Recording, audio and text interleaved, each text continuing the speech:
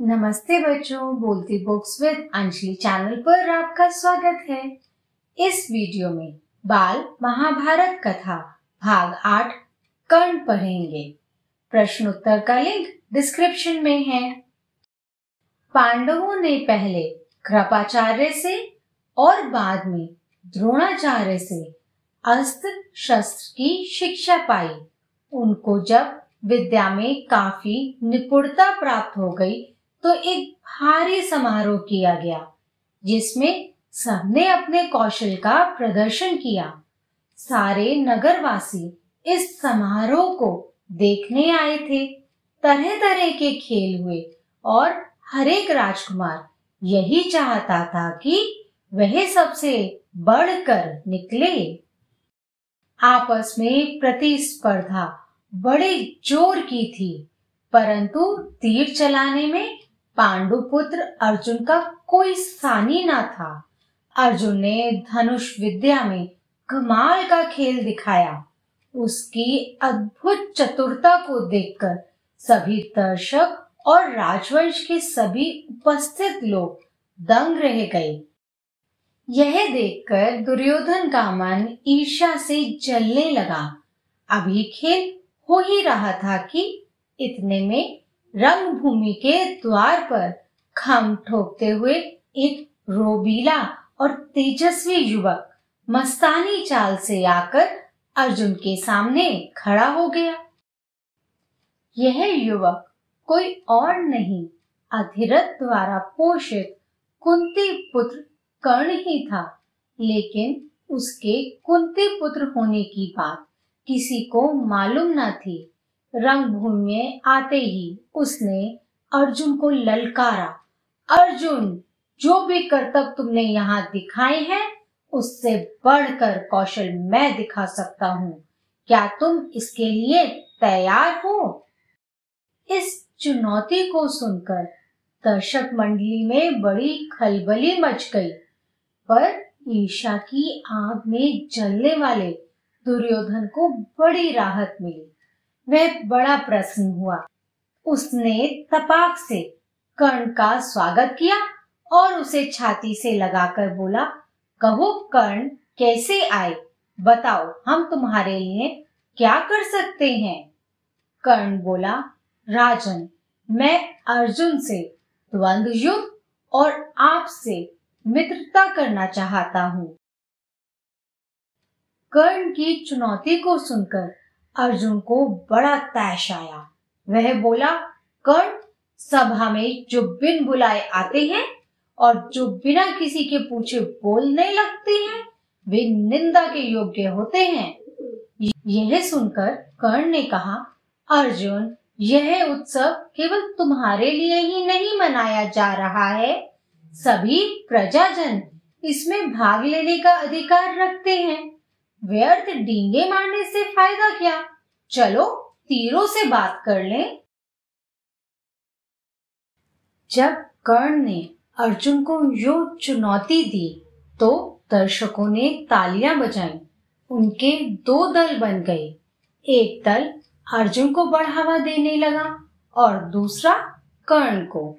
इसी प्रकार वहाँ इकट्ठी स्त्रियों में भी दो दल बन गए। कुंती ने कर्ण को देखते ही पहचान लिया और भय तथा लज्जा के मारे मूर्छित सी हो गई। उसकी यह हालत देखकर विदुर ने दासियों को बुलाकर उसे चेत करवाया। इसी बीच कृपाचार्य ने उठकर कर्ण से कहा, अज्ञात वीर, महाराज पांडु का पुत्र और कुरुवंश का वीर अर्जुन तुम्हारे साथ द्वंद्व युद्ध करने के लिए तैयार है। किंतु तुम पहले अपना परिचय तो दो। तुम कौन हो? किसके पुत्र हो? किस राजकुल को तुम विभूषित करते हो? द्वंद्व युद्ध बराबर वालों में ही होता है। कुल का परिचय पाए बगैर राजकुमार कभी द्वंद करने को तैयार नहीं होते। कृपाचार्य की यह बात सुनकर कर्ण का सिर झुक गया। कर्ण को इस तरह देखकर दुर्योधन उठ खड़ा हुआ और बोला, अगर बराबरी की बात है तो मैं आज ही कर्ण को अंग देश का राजा बनाता हूँ। यह कहकर दुर्योधन ने तुरंत पितामह भीष्म और पिता धृतराष्ट्र से अनुमति लेकर वहीं रंगभूमि में ही राज्यभिषेक की सामग्री मंगवाई और कर्ण का राज्यभिषेक करके उसे अंग देश का राजा घोषित कर दिया। इतने में बूढ़ा सारथी अधिरथ, जिसने कर्ण को पाला था, लाठी टेकता हुआ और भय के मारे कांपता हुआ सभा में प्रवेश हुआ। कर्ण, जो अभी अभी अंग देश का नरेश बना दिया गया था, उसको देखते ही धनुष नीचे रखकर उठ खड़ा हुआ और पिता मानकर बड़े आदर के साथ उसके आगे सिर नवाया। बूढ़े ने भी बेटा कहकर उसे गले लगा लिया। यह देखकर भीम खूब कह कहा मारकर हंस पड़ा और बोला, सारथी के बेटे, धनुष छोड़कर हाथ में चाबुक लो, चाबुक। वही तुम्हें शोभा देगा। तुम भला कब से अर्जुन के साथ द्वंद्व युद्ध करने के योग्य हो गए? यह सब देखकर सभा में खलबली मच गई। इस समय सूरज भी डूब रहा था। इस कारण सभा विसर्जित हो गई। मशालों और दीपकों की रोशनी में दर्शक वृंद अपनी अपनी पसंद के अनुसार अर्जुन, कर्ण और दुर्योधन की जय बोलते जाते थे। इस घटना के बहुत समय बाद एक बार इंद्र बूढ़े ब्राह्मण के वेश में अंग नरेश कर्ण के पास आए और उसके जनजात कवच और कुंडलों की भिक्षा मांगी। इंद्र को डर था कि भावी युद्ध में कर्ण की शक्ति से अर्जुन पर विपत्ति आ सकती है। इस कारण कर्ण की ताकत कम करने की इच्छा से ही उन्होंने उससे यह भिक्षा मांगी थी। कर्ण को सूर्य देव ने पहले ही सचेत कर दिया था कि उसे धोखा देने के लिए इंद्र ऐसी चाल चलने वाले हैं। परंतु कर्ण इतना दानी था कि किसी के कुछ मांगने पर वह मना कर ही नहीं सकता था। इस कारण यह जानते हुए भी कि भिकारी के वेश में इंद्र धोखा कर रहे हैं, कर्ण ने अपने जनजात कवच और कुंडल निकालकर भिक्षा में दे दिए। इस अद्भुत दानवीरता को देखकर इंद्र चकित रह गए। कर्ण की प्रशंसा करते हुए बोले, कर्ण, तुमसे मैं बहुत प्रसन्न हूँ। तुम जो भी वरदान चाहो, मांगो कर्ण ने देवराज से कहा, आप प्रश्न है तो शत्रुओं का संहार करने वाला अपना शक्ति नामक शस्त्र मुझे प्रदान करे। बड़ी प्रसन्नता के साथ अपना वह शस्त्र कर्ण को देते हुए देवराज ने कहा, युद्ध में तुम जिस किसी को लक्ष्य करके इसका प्रयोग करोगे, वह अवश्य मारा जाएगा। परंतु एक ही बार तुम इसका प्रयोग कर सकोगे।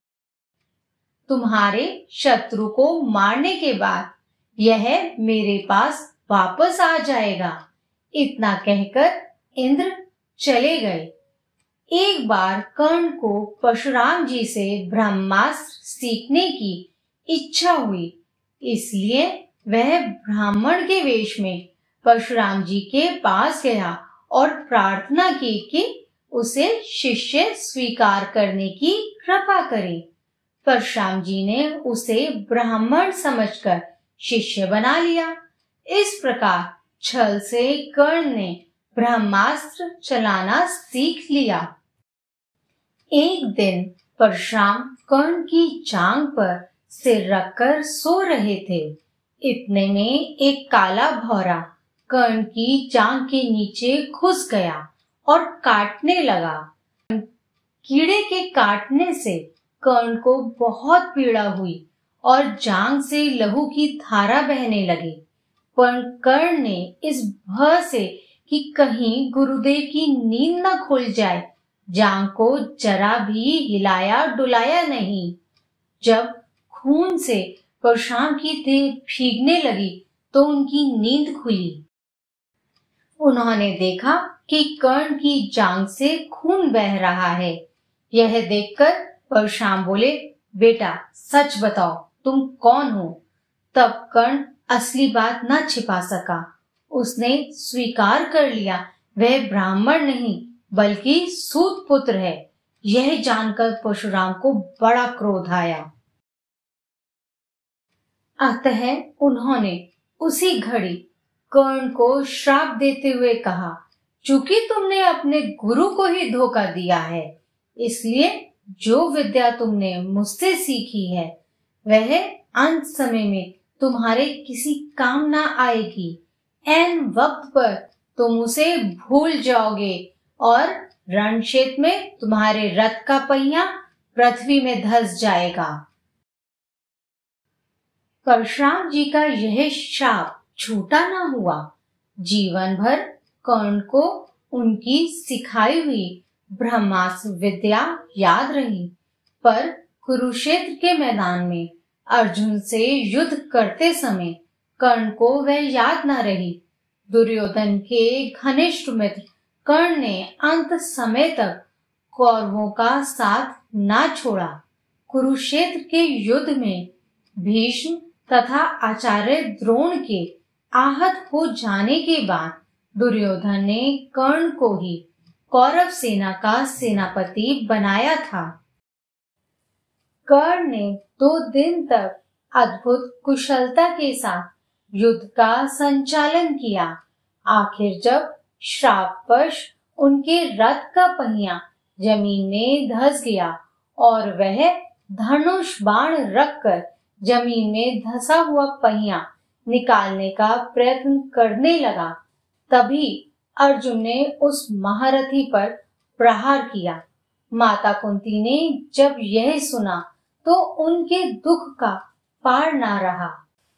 बाल महाभारत कथा का भाग आठ समाप्त होता है। अगला भाग द्रोणाचार्य है। प्रश्न उत्तर का लिंक डिस्क्रिप्शन में दिया गया है। वीडियो देखने के लिए धन्यवाद। Take care bye bye